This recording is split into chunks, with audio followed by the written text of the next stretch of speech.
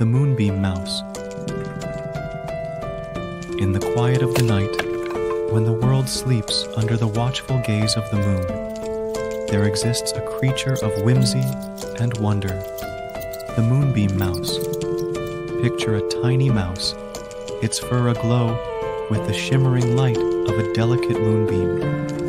With curiosity in its eyes, it scampers through a moonlit field, collecting beams of moonlight in its tiny paws. Each beam it gathers illuminates the night, casting a magical glow over the sleeping world.